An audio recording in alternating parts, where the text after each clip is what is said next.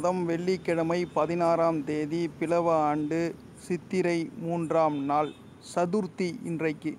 நல்ல நேரம் காலை ஒன்பது முப்பது மணி முதல் பத்து முப்பது மணி வரை மாலை நான்கு முப்பது மணி முதல் ஐந்து முப்பது மணி வரை. ஓரை நிலவரம் சுக்ரன் புதன் சந்திரன் குரு சுக்கர ஓரை ஆறு டு ஏழு புதன் ஏழு டு எட்டு சந்திரன் எட்டு டு ஒன்பது குரு பத்திலிருந்து பதினோரு மணி வரை. சூரிய உதயம் ஆறு மணி மூன்று நிமிடம். திதி இன்று மாலை நான்கு இருபத்தி ஒன்று வரை சதுர்த்தி பின்பு பஞ்சமி. நட்சத்திரம் இன்று இரவு ஒன்பது ஐம்பது வரை ரோகிணி பின்பு மிருகசீரிஷம். யோகம் இன்று இரவு ஒன்பது ஐம்பது வரை மரண யோகம் பின்பு சித்த யோகம் துலாம் ராசிக்கு சந்திராஷ்டமம். வெள்ளிக்கிழமை அம்பாள் வழிபாடு செய்வது உத்தமம். முதல் வெள்ளி சித்திரை பிறந்து ஒரு விசேஷமான நாள் இன்று மழை பெய்யும் தமிழ்நாட்டில். அதாவது சித்திரை மழை பெய்தால் லக்ஷ்மி கடாட்சம் என்று பொருள். கிரக நிலைகளின் நிலவரம். மேஷத்தில் சூரியன் சுக்கரன் புதன் ரிஷபத்தில் சந்திரன் ராகு மிதுனத்தில் செவ்வாய் விருச்சிகத்தில் கேது மகரத்தில் சனி கும்பத்தில் குரு. அம்பாள் வழிபாடு செய்வது மிகப்பெரிய உத்தமம். இன்றைக்கு வெள்ளிக்கிழமை இரவு எட்டு மணியிலிருந்து ஒன்பது மணி வரை திருவற்றியூர் வடிவுடையம்மனை தரிசனம் செய்வது மிகப்பெரிய பலனை தரும். இன்றைய ராசி பலன்களை காணலாம். மேஷராசி அன்பர்களே நன்மைகள் நடக்கின்ற ஒரு அற்புதமான காலகட்டம். உத்தியோகம் தொடர்பான பணிகளில் பொறுப்புகளும் முக்கியத்துவமும் அதிகரிக்கும். தற்பெருமை சார்ந்த சிந்தனைகளை குறைத்து கொள்வது நன்மை அளிக்கும் உங்களின் மீதான நம்பிக்கை மேலோங்கும். கணவன் மனைவிக்கிடையே நெருக்கமும் அன்பும் அதிகரிக்கின்ற ஒரு அற்புதமான காலகட்டம். பொருள் வரவுகளை மேம்படுத்துவதற்கான செயல்பாடுகள் அதிகரிக்கும். வெளிநாடு செல்லக்கூடிய யோகம் இருக்கிறது. மேஷராசி என்பர்கள் திருமண வயதில் இருந்தால் திருமணம் நிச்சயிக்கப்படும். அதிர்ஷ்ட திசை கிழக்கு எண் ஐந்து. அஸ்வினி பரணி கிருத்திகை நட்சத்திரக்காரர்களுக்கு பொறுப்புகள் அதிகரிக்கின்ற நாள் நம்பிக்கை மேலோங்கும். மேஷராசி என்பர்கள் முடிந்தால் திருவண்ணாமலை சென்று அருணாச்சலேஸ்வரரை தரிசனம் செய்து வாருங்கள். நன்மைகள் அதிகளவில் நடக்கும். சித்திரைக்கு உகந்த கோவில் திருவண்ணாமலை அருணாச்சலேஸ்வரர். ரிஷவராசி அன்பர்களே விரும்பிய செயல்களை எண்ணிய விதத்தில் செய்து முடிப்பீர்கள். மருமகனிடம் சில வாக்குவாதங்கள் ஏற்பட்டு மறையும். சுய தொழில் தொடர்பான முயற்சிகளில் எண்ணிய எண்ணங்கள் நிறைவேறும். உடன் பிறந்தவர்களின் மூலம் அனுகூலமான பலன்கள் ஏற்படும். உடல் ஆரோக்கியம் தொடர்பான செயல்பாடுகளை மேற்கொள்வீர்கள். அதிர்ஷ்ட திசை வடக்கு எண் ஒன்று. கிருத்திகை ரோகிணி மிருகசீரிஷ நட்சத்திரக்காரர்களுக்கு எண்ணங்கள் நிறைவேறும். வாக்குவாதங்களை தவிர்த்தால் நன்மைகள் அதிகளவில் நடக்கும். மிதுன ராசி என்பர்களே திருமணமானவர்களுக்கு மகிழ்ச்சியான செய்திகள் கிடைக்கப் பெறுவீர்கள். வெளியூர் பயணங்கள் மற்றும் வர்த்தகம் தொடர்பான முயற்சிகள் ஈடேறுவதற்கான வாய்ப்புகள் உண்டாகும். தந்தை வழி உறவினர்களின் மூலம் மகிழ்ச்சியான செய்திகள் கிடைக்கும். மனதிற்கு விரும்பிய பொருட்களை வாங்கி மகிழ்வீர்கள். மிதுன ராசி என்பர்கள் யாருக்கும் இந்த ஜாமீன் கையெழுத்துலாம் போடக்கூடாது. இரண்டாவது ஒரு விஷயம் யார் நல்லவர்கள் கெட்டவர்கள் என்று ஆராய்ந்து பார்த்து பழக வேண்டும். அதிர்ஷதிசை மேற்கு எண் இரண்டு. மிருகசீரிஷம் திருவாதிரை புனர்பூச நட்சத்திரக்காரர்களுக்கு முயற்சிகள் ஈடேறும். மகிழ்ச்சியான நாள். கடகராசி அன்பர்களே பொழுதுபோக்கு தொடர்பான எண்ணங்கள் அதிகரிக்கும். உத்தியோகத்தில் எதிர்பார்த்த பொறுப்புகள் கிடைக்கும். புதுவிதமான ஆடைகள் மற்றும் விஷயங்களில் ஈடுபாடு உண்டாகும். ஆராய்ச்சி தொடர்பான பணிகளில் இருக்கும் மாணவர்களுக்கு மகிழ்ச்சியான செய்திகள் கிடைக்கப் பெறுவீர்கள். வேலை தேடி கொண்டிருப்பவர்களுக்கு நல்ல வேலை கிடைத்துவிடும். அதிர்ஷ்ட திசை தெற்கு எண் ஆறு. புனர்பூசம் பூசம் ஆயுள்யம் நட்சத்திரக்காரர்களுக்கு எண்ணங்கள் அதிகரிக்கும். பொறுப்புகள் கிடைக்கின்ற ஒரு அற்புதமான காலகட்டம். சிம்மராசி என்பர்களே மாணவர்களுக்கு கல்வி தொடர்பான பணிகளில் முன்னேற்றம் உண்டாகும்.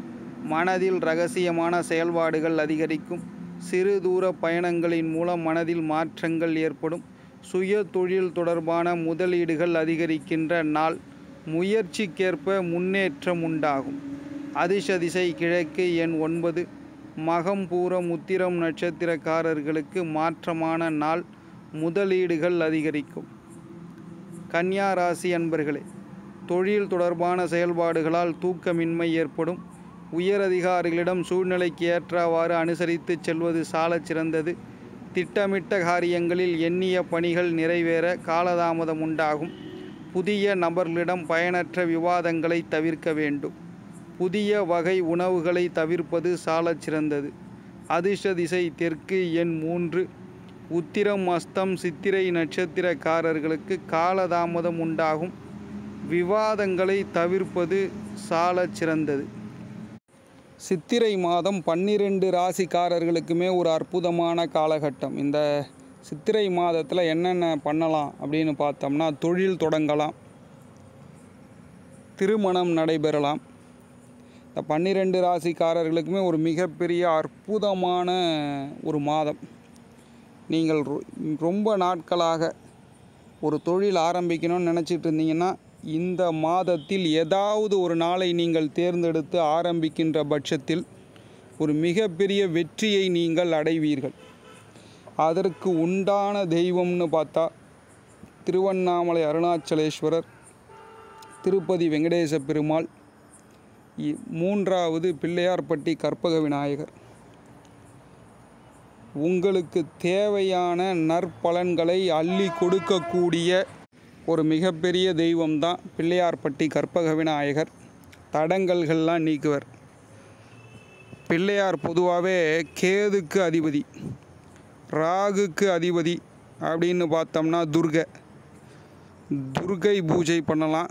இரண்டாவது அதை விட ஒரு மிகப்பெரிய விசேஷம் பிள்ளையார்பட்டி கற்பக விநாயகரும் திருவண்ணாமலை அருணாச்சலேஸ்வரரும் மிகப்பெரிய ரோல் ப்ளே பண்ணுவாங்க. இந்த சித்திரை மாதத்தில் அதே இதுக்கு கண்டினியூஸாக யாருன்னு பார்த்தா சித்திரை திருவிழா அப்படின்னு பேர் எடுத்ததே வந்து மதுரை.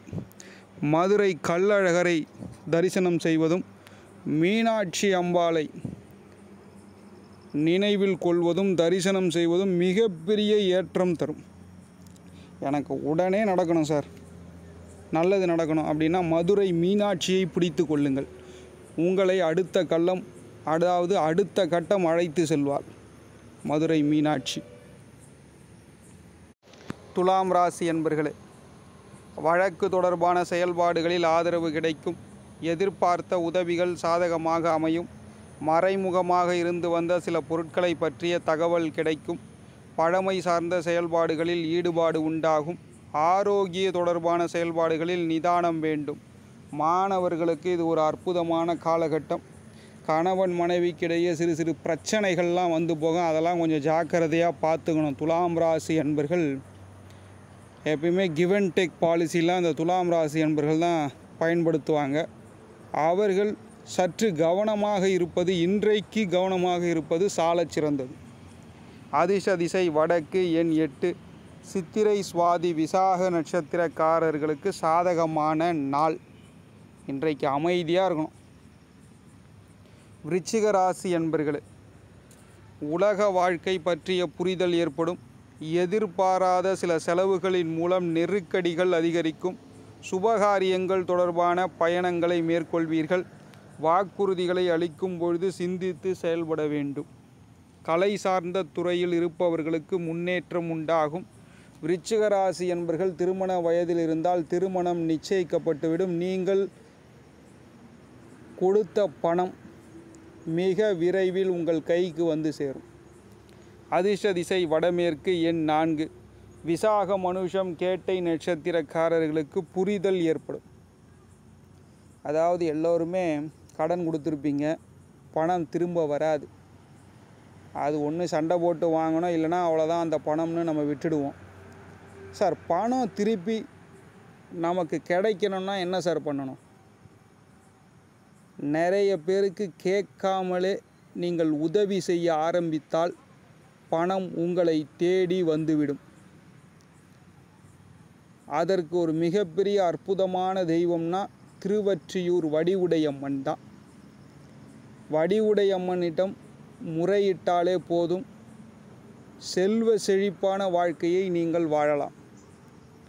தனுசு ராசி அன்பர்களே மனைவியின் மூலம் எதிர்பாராத பொருள் வரவு உண்டாகும். சபை தொடர்பான பணிகளில் இருப்பவர்களுக்கு அனுகூலமான சூழ்நிலைகள் உண்டாகும். தாய்மாமன் வழியில் மகிழ்ச்சியான சூழல் ஏற்படும். புத்திரர்களின் மூலம் அனுகூலம் உண்டாகும். தூக்கமின்மையால் பார்வை தொடர்பான பிரச்சனைகள் நேரிடும்.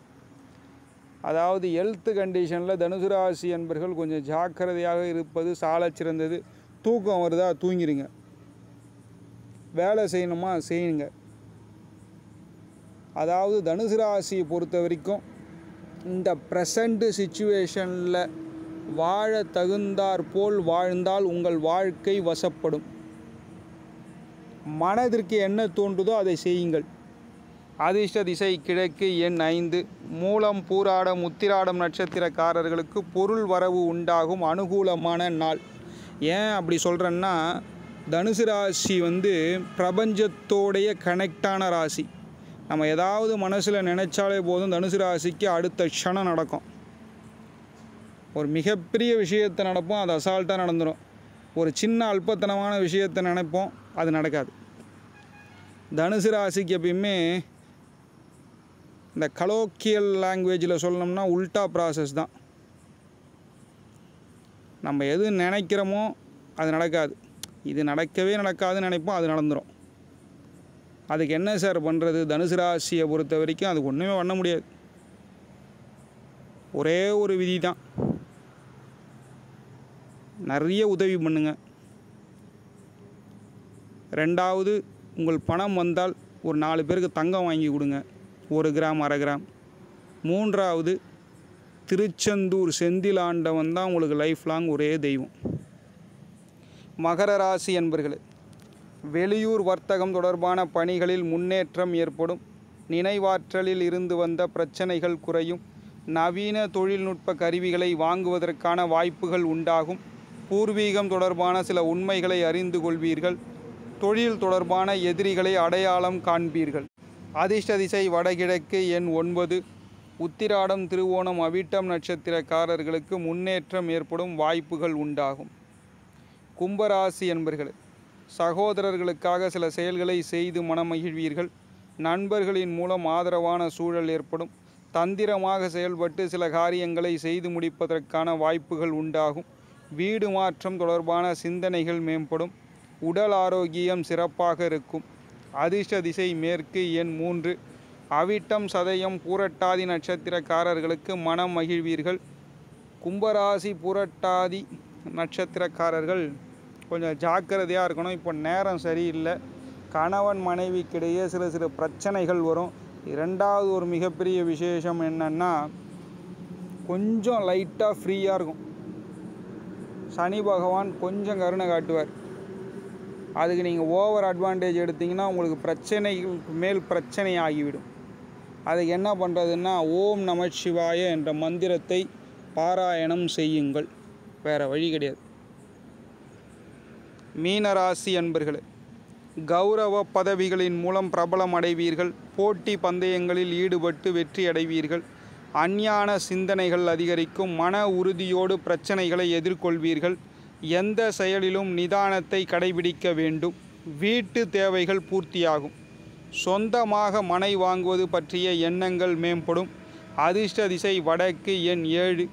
மீனராசியில் வயசானவர்கள்லாம் இப்போது என்ன நினைப்பாங்கன்னா சார் நம்ம நேட்டிவ் பிளேஸுக்கே போயிடுவோம் ஒரு ஒரு ஏக்கரோ இல்லை அரை ஏக்கரோ இடம் வாங்கி அங்கே தங்கி நமக்கு ஒரு பூங்கா மாதிரி அமைச்சு ஒரு செழிப்பான வாழ்க்கையை கிராமத்தில் வாழ்வோன்னு ஒரு முடிவுக்கு வந்துடுவாங்க மீனராசி அன்பர்கள் அது இப்பொழுது நடக்கும்.